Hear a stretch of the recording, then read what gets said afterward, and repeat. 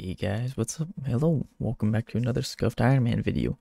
Last episode we were doing just a bunch of skilling and we got 60 prayer and 72 agility. And 72 agility allows access to the hollowed Shepisher, ship, ship, ship, sure, all the way in Darkmeyer.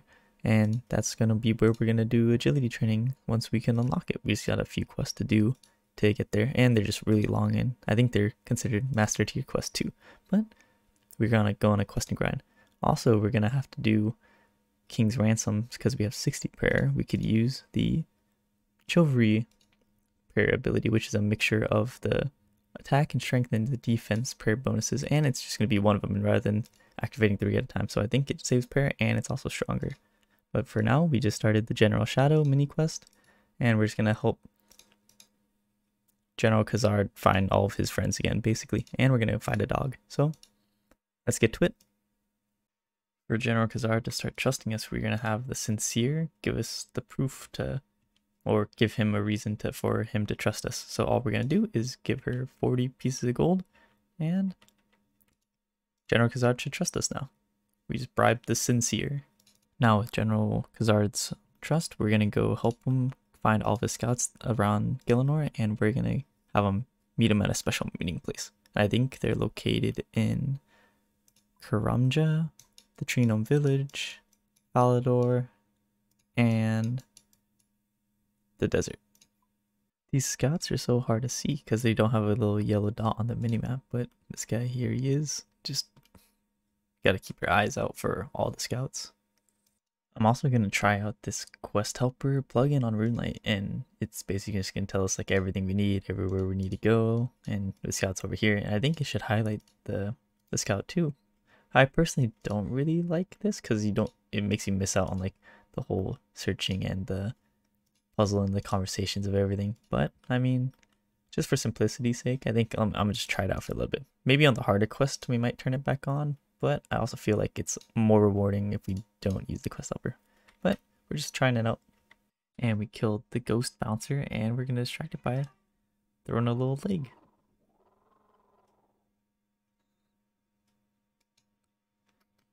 We got the Shadow Sword, and we also got a little bit of Slayer XP. I think that's considered quest complete. And this sword doesn't really do anything for us, but it's a cool two-hand sword that mixes with all these items. Also, since that we don't need these ghostly robes anymore, we can use this magic wardrobe that we made, and we can place in our ghostly set. And that should free up one, two, three, six inventory spaces for a bank.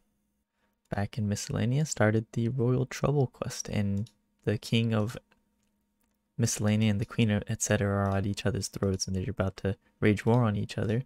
But both sides have been having their people's things stolen, so we're gonna have to investigate and we're gonna have to figure out how to bring peace to these two nations. The prince and the princess of Miscellanea actually had a good idea to and the quarrel between the king and queen, we could just have them married, and that'd be very poetic. But we still have to figure out who's stealing all this stuff. It was neither the king or queen of Miscellanea and Etceteria stealing from each other. It was these Fremennik kids who failed the Fremennik trials, unlike unlike me, who is a beast and finished all the Fremennik trials except for the exiles.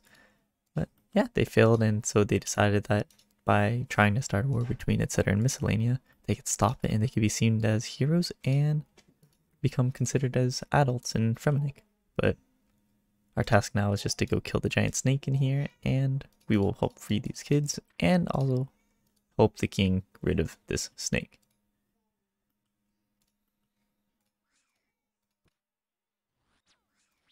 Snake killed and this heavy box of all the stolen things should be in here. So let's go return it and like that the king and the queen are now at peace and royal trouble is complete. And the rewards aren't really useful to us yet because we don't really do managing miscellanea anyway. We got a little bit of XP, but it doesn't really help out either. In South Varrock, and we started What Lies Below, which is actually also one of the last quests in our bottom portion of the quest list, which is kind of cool. But what happened was that our boy Ratty Burgesses got his trading cart wrecked by some outlaws. So we're out to get some good old revenge and let's go slice up and dice up some outlaws. We return to Ratty and give him his little papers back from the, the outlaws, but then he gives a task to give a letter to Surok Magis. And Surok Magis decides just to burn in front of us and proclaim that he can turn clay into gold. But he needs us to get him some cool stuff so we can actually do on a bigger scale. To upgrade his little wand, we have to go to the Chaos Altar, which is actually in 10 Wilderness. But we could just run through that, and I don't think we'd be attacked. But there's actually a path underneath the Saradomin statue, and we should unlock a music track while doing it.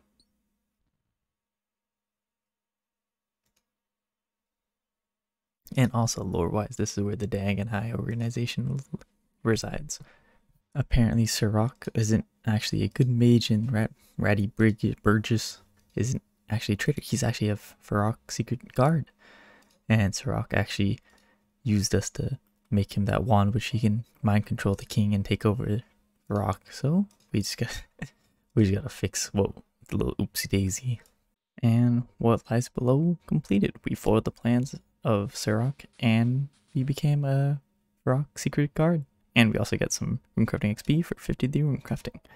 And the cool thing from this quest is actually we get this little beacon ring, which is plus two magic, which is one of the best magic rings in the game. It's not the best, but we don't have anything that helps us with magic, so it's kind of cool. Now starting Lunar Diplomacy. It's kind of like Miscellanea versus Etceteria, but this one's just a lot cooler because uh, if we complete it, we'll get access to the Lunar Spellbook and we're going to get a cool little upgrade to our little Dramen staff that we walk around with like almost 24-7. Now after a while, we finally made to the Moon Clan Island because our ship was actually cursed by some of the Moonlight Islanders and we were going around in circles around the island, but now after removing all the symbols, we made it.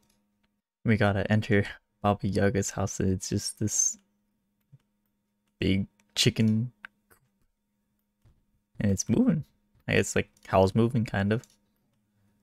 How do you how do you just sit in here comfortably? Since I still don't have a fire talisman to enter the fire altar, I have to keep just going into the the rift every single time I wanna go and enchant my well not enchant. I have to go use my lunar staff or my Dramen staffs on each one of the talisman to whatever they're called altars of air, fire, water now, earth. So water next, earth, and I think we should have a lunar staff. Oh, never done that one before. I've only done the mine and chop one. What the, the, the huh? And look at that. We find the fully upgraded lunar staff. It's a little stronger than just the dream staff, but there's no really any use to use it for casting spells or anything, but oh, I can't wear it yet. Now we gave the one Oneiromancer one of their lunar staffs, but now to equip it, like I said earlier, we need to have wait, oh wait, what? Oh, we can't equip it right now. But yeah, we need to go find the ceremonial items, which are the entire outfit. But look how cool this looks compared to the Dramen staff. Now that we obtained the ceremonial outfit, we could enter the dream world. And to the dream world we go.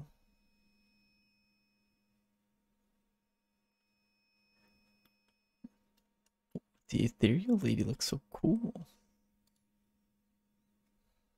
The ethereal lady is just us because we're in our own dream, but we're gonna play games with her and we're gonna do some little squid game games.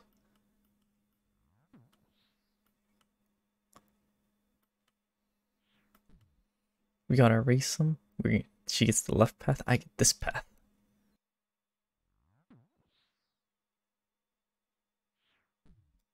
Not all paths are easy to take, but if you want to succeed and are willing to put in the effort, you can come out with success. And in this challenge, we're going to have to find the sequence that they give us. So 1, 6, 2, 5, so, well, it's given to us, but it looks like a 3, 4. By understanding others around you through communication with your surroundings, you can turn learn a great deal about yourself. You can see how important it is to be able to communicate and relate with others. You can gain a lot of knowledge from it. The importance of being able to relate to others and a great deal of thoughts and emotions are shared between people. We can learn a lot from each other's. There's always an unknown variable in life, but there's always an answer. You just have to play the game and hope that you'll succeed. Every step is important to know where you were and where you're heading. This is the Squid Game challenge I was looking for. But, you know, the quest guide already told us what the answer is. So, a little bit cheating, but hey, this Quest, this Quest Helpers plugin is making this go by super fast. And for the last game, it's showing the importance of being able to know your own abilities and have confidence in them. That was the six lessons, but I guess the last one is to fight myself. Look how cool I look. Oh, easy safe spot. And I killed myself. Thank you for the lessons, ethereal lady. Confronted myself, and I bested myself. The recap of make sense of others to understand yourself, relate yourself to others, use your abilities to progress, aware of your past and present to help you in the future, harness your confidence, and appreciate the unknown. And that's Lunar Diplomacy completed. And I guess that we made the Lunar Isle friends with the Fremenniks now, but we got 2k or 5k magic XP in runecrafting. I don't think we get a level of that, but I think by praying at this altar, we change to the Lunar Spellbook, and this is going to be really good for our wherever it is. It's the I can't find it, but it's gonna it's the the glass make spell, and that's gonna be our best and our main crafting training later on. Here it is, super glass make. It just kind of requires level 77 magic, but we're not even close to that yet. Eh, I mean, it's not. We're in no rush for construct for crafting XP. I think our crafting is already part of the requirement. What we need for the most difficult quest. And also, since we have our magic wardrobe, we could store this lunar set into here, and that will save us eight bank spaces. But we get to keep this Dramen staff, or not Dramen staff, it's a lunar staff. It's basically just a reskin of the Dramen staff. We could use the fairy rings and all with it, but it just looks cool, and I'm excited to start running around with this guy. Additionally, I forgot to add that by fighting me inside the dream world, we actually can fight me in the nightmare zone now. And since there's more people to fight within the nightmare zone, that means we get more points per hour. And it's also considered one of the easier ones. So it's actually a good thing that we complete that quest. So when we go do some more AFK nightmare zone, just more points rather than I think we were kind of pretty weak on getting points last time. But yeah, new upgrade for us too. Starting the King's Ransom and something's weird with the Sinclair family. They finally packed up moved after we caught the murder and the King's Council has disappeared and so has King Arthur. I think that the Sinclair family might be part of something weird here. We've shown proof to the guard that the Sinclairs are up to something weird, but we're gonna avoid the bureaucracy because since he has to submit the forms, it's gonna take up to three months to figure out that we could take him to court. So we'll figure out how to speed it up. I mean, look at this prosecutor's little powder wig. Like, it doesn't even cover all his hair. We're definitely going to win this court case. And we're going to prove that our friend Anna is innocent. What? I freed Anna just for her to be the cause of killing the Lord Sinclair and David too? This metal door is locked, but there's this guy grooming his hair, so let's just see if he has a little hairpin on him. And he does. Now we gotta free our boy King Arthur by using our animated rock scroll on him. Just like how we did in One Small Favor. Except this is out of stone, not rock. Or, well, it's the same.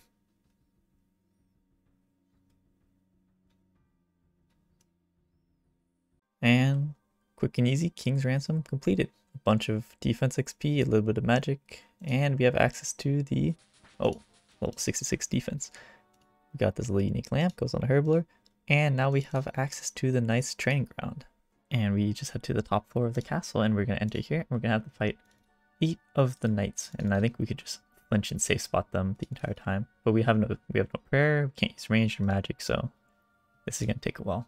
And I think flinching is all we have to do is wait till our HP bar is gone and we just run out and smack them. Well, I messed that up, but we're going to do this for the entire way. And we got a bunch of XP out of it. We got 20k in hit point, strength, attack, and defense. And now we have access to Chivalry and Piety, which is 20% defense, 18 strength, and 15 attack, where everything is just at 15. And we could also change our spawn point to Camelot, but I don't think that's something we need. Yeah. Chivalry. Oh, I was making combination runes for the next quest, but I didn't realize that by making them, I actually lose this talisman, which is kind of sad, but I just hope we never have to use it ever. Out on the northern part of Kandarin, we are starting the Swan Song, and we're gonna have to go enlist the old man, and he's gonna help us join in the fight against some sea trolls battling or troubling this town. Look at the old wise man, he's feeling invigorated with his youth. He's hitting like 36s. I could be doing chivalry here too, but meh. Oh, and now he's out of runes, so now he throws rocks at the little trolls. Sea trolls keep spawning while I'm trying to catch the monkfish I required, but well, I got a got a long bone. Also, part of the quest requires us to enter the Wizards Guild, and that was our first time in here for a hard task for Ardougne. Open this pot, and we could raise an army an army of skeleton mages. And we will fight against the army of trolls.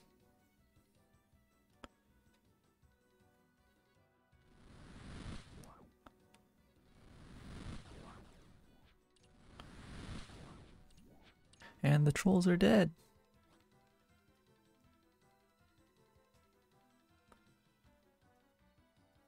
Except for the troll general. Get him, old man.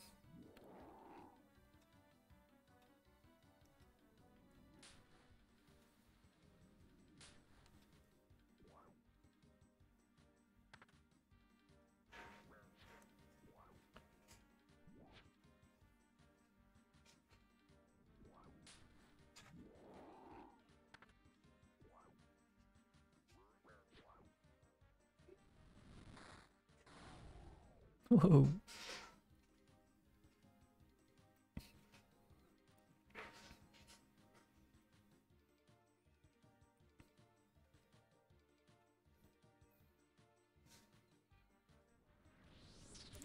Whoa, 254. The Sea Troll Queen. How dare you? we should finish this fight by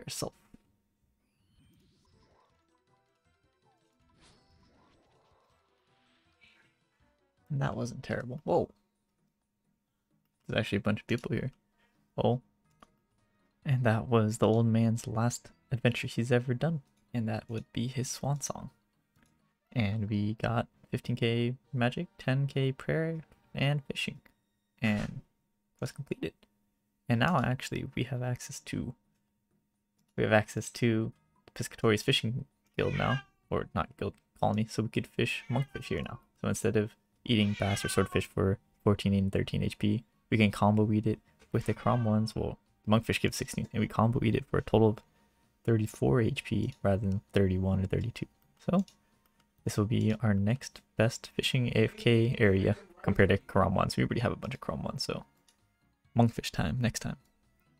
Catching and cooking a monkfish after the quest is a hard task for the Western Provinces, and I think I'm just gonna take a break from questing and just spend my day fishing monkfish for food.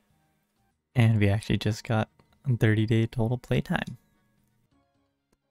76 fishing with a barrel full of monkfish. Oh, we can do sharks now. But I heard that it's just actually really slow and if we want to get sharks, we should just do minnows. But minnows requires 82 fishing if I'm correct. But that'll net us the most sharks per hour. But for now, monkfish will be our best food. I made a oopsies earlier. These guys aren't part of the new quest. They're part of the holiday event. And same with Oziach up in the monastery. The monks are still trying to protest Oziach from buying the monastery, but to make them prevent him from buying it, well, said prevent twice, but to prevent him from buying it, we're gonna have to give him a little Halloween scare to make him think that this place is haunted. Ooh, spooky noises.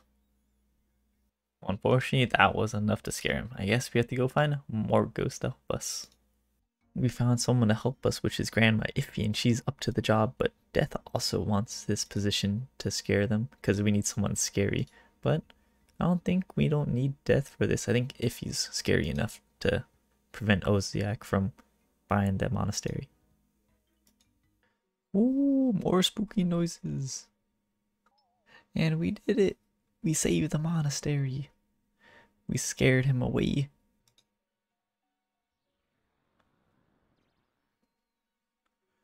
Ooh, two ghosts weren't enough, so death will come and help us. And to celebrate saving the monastery, we're having a night out of town. And for completing the quest, we got a bunch of holiday items. We uh, got this headless head.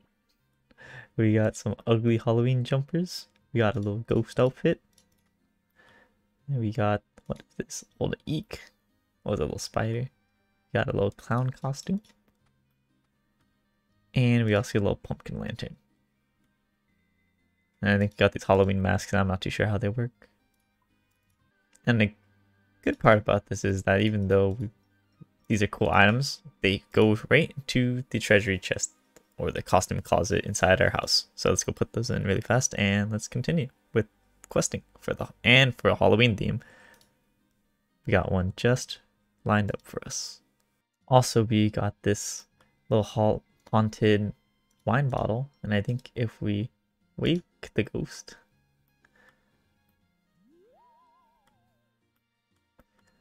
Mm, cool little collectible.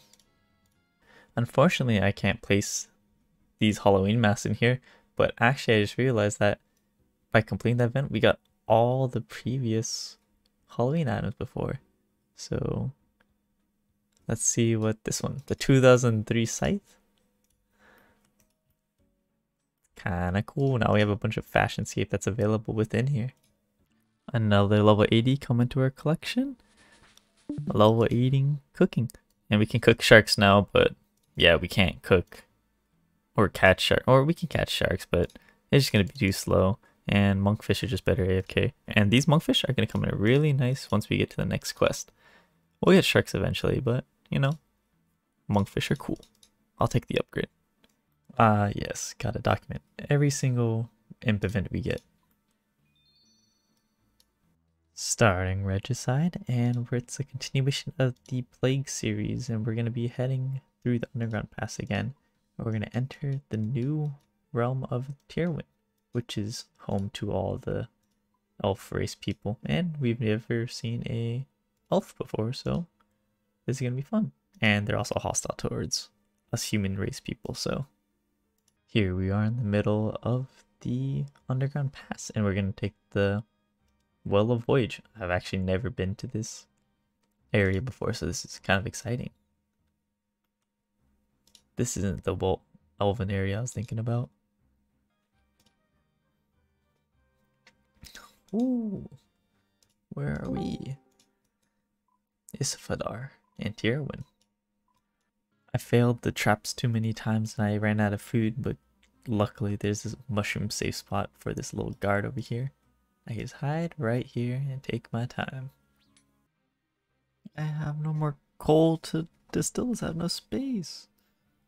I need another piece of limestone and I never realized that I actually had the agility level to cross this little hill. Otherwise we'd have to go through the basement of the church and walk around it, but yeah, that saves me like at least a minute or two. I don't know what the next use case this would be, but yeah, it saved me two minutes tonight. I had to go make this barrel bomb all the way in Rimmington. Now we're heading back through the underground pass, and then we're gonna have to traverse through this forest again, and it's, it's gonna take like another 20 minutes just walk through everything. I thought the underground pass was bad, but man, the forest just takes forever too. I can't wait until we unlock this charter boat here and charter boat over there and we can just bounce around so fast. Now, King Tyras is actually assumed to be in this little army camp over here and we're gonna have to bring him out by starting war and we're gonna use this conveniently placed catapult and launch this barrel bomb that we made earlier. But to do that, to distract this guard, we're gonna give him a little rabbit. Now we add the bomb to the catapult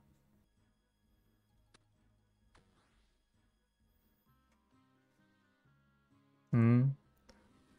We make it go kaboom. What? King Lathas isn't actually a good guy. he's a bad guy, and he's working with Lord Iorwerth, the elves, to bring back the Dark Lord. Well, for now, we're just gonna tell him that everything's good and the job was completed. But what a shock. We killed Lord Tyras for nothing. Well, not for nothing, we did it for Lathas, but oh boy. And that's Regicide completed. And we have access to Tirannwn. We have this quick little, well not quick, we have this path to take rather than going to the underground pass. Probably should take it, save us a few minutes, but well, all we got is that. I think what we need to do is just enter Air Tirannwn one more time so we can start Mourning's End part one, and we can do Roving alms. And we could, with Mourning's End, I don't think we'll complete it, but we have some of the starting stuff to get teleportation crystals. 72 wood cutting, and we're only three levels off from cutting magic trees, and we're also almost at 75 hunter, which might take actually, or 7400, it might take a while to get there. But once we get 7400, we use magic birdhouses, or and then at 75, we can actually cut magic trees. So that'll be our next upgrade for birdhouses. Probably the last level for today, but 73 woodcutting. And the gap gets wider. 82 farming.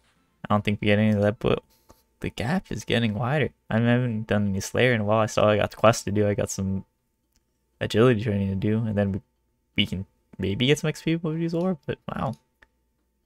The gap's just getting bigger, and the time for each level is just going to get longer and longer. Starting the Roving Elves, and we're here to mend the prejudice between humans and the elves. And we're going to alleviate all the burdens of the past. And we're going to do it by gaining her trust, and this will be how we're going to get back at King Lathas and find a resistance against him. So we're just going to head back to Baxtorian Falls, place this pebble inside a little jar, and that's going to be how we show respect to her grandmother, who we did a quest for a long time ago. Now we just plant the seed that it was enchanted. And it's a nice little tree.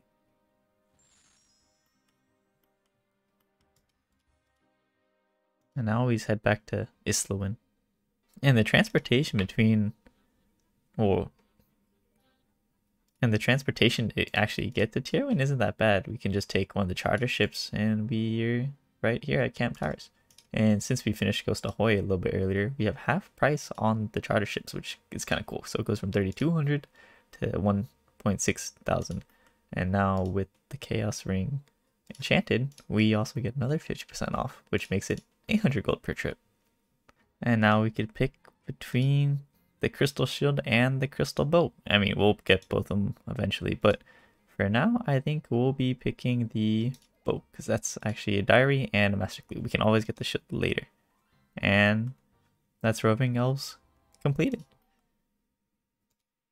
And since, oh no, no thank you. We can also over here talk to Elune and we could start Mourning's End part one.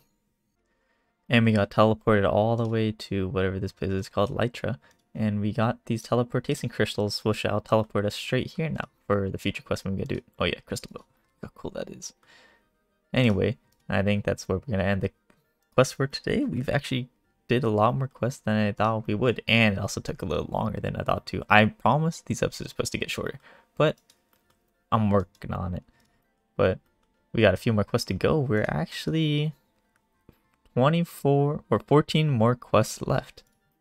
And then we're going to get the quest key and we're going to be complete. But we're going to need some more skilling before we can actually do that. And I do want to get some more skilling stuff in between. So like a new graceful set, we want to do some Zulrah runs, and we're going to get a recolor skin. So anyway, thanks for watching, and I'll see you in the next one.